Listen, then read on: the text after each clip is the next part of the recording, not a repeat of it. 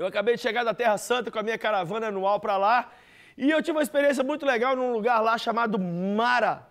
Mara, Mara significa amargo, amargo, azedo. Olha que legal. O povo sai do Egito, 400 anos escravo. Quando sai do Egito, o farofa vem atrás nervoso para pegar o povo. Quando chega na beira do mar, Moisés, com 3 milhões de pessoas, na frente o mar, atrás o faraó. De repente Deus abre o mar, o povo atravessa. Aí os egípcios vão passar, morre. Uma das histórias mais lindas da Bíblia. E toda vez que eu estou triste, eu lembro disso aí, eu fico feliz, porque eu sei que é um Deus que opera em favor do seu povo. O povo acabou de atravessar para o outro lado, Êxodo capítulo 15, faz um forró. A Bíblia diz que Miriam pegou seu tamborim e começou ali na Marquesa, Sapucaí, aquela alegria, e Deus ferrou os egípcios, aleluia, e né? Ali nasceu o samba enredo, entendeu? E o povo feliz da vida. Aí quando eles pararam de cantar assim, que eles cruzaram o braço, eles falaram assim, nós vamos beber o quê, hein? Ah, tem uma água ali. Foram beber a água, a água era amarga. Por isso que tem esse nome. Só que a água não era venenosa, ela só era amarga. Na verdade, aquela água foi estudada e aquela água tem nutrientes que o povo precisava e que não tinha no Egito. Mas o povo fez o quê? Xingou Deus, murmurou e se esqueceu rapidamente do milagre que ele havia feito poucos momentos antes. Sabe o que eu descubro ali nessa história? Eu preguei ali para o pessoal que foi na caravana comigo e eu disse para ele muitas vezes: Deus dá para a gente uma coisa doce na vida, abre o mar, e logo em seguida ele dá uma coisa meio amarga para ver se a gente vai tomar. Porque nem só de Coca-Cola em Coca-Cola viverá o cristão, mas de todo limão que sai da mão do Senhor. Deus às vezes dá um limão para a gente, mas não é um negócio que vai te matar, é uma água nutriente, Zé.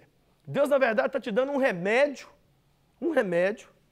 E aí a gente fala assim, eu não gosto, eu só gosto quando o mar abre, eu não gosto quando vem essas águas amargas. E aí a Bíblia diz que o povo xingou. Poucos instantes depois de terem atravessado o mar, Poucas horas depois, eles esqueceram do Deus que abre o mar, porque a água não era do gostinho exato que eles queriam. É o perfil certinho de muitos cristãos de hoje, né? A gente faz beicinho quando a coisa não acontece do jeitinho exatinho que a gente queria. Querido, tome o suco gostoso que Deus te dá, mas tome também o amargo. Que a gente saiba provar os dois, dizer para Deus, Deus, ó, deixa eu explicar para o Senhor. O que vier do Senhor, nós cai para dentro. Pode ser o amargo, doce, sem gosto, não importa. Vindo do Senhor, a gente quer. Se o povo tivesse tomado aquela água, gente, seria tão tranquilo, mas o povo não tomou. Sabe o que aconteceu? O povo murmurou. Deus começou a matar o povo ali. E Deus jurou ali: eu não vou pôr esse povo dentro da minha terra. Eles não merecem os meus milagres. E ali, logo ali mais para frente, Moisés, na tentativa de calar a boca do povo, que eles não calavam a boca, era um povo boca reganhada, reclamão. Moisés sentou porrete na rocha, e Deus falou: você também não vai entrar, também, também não.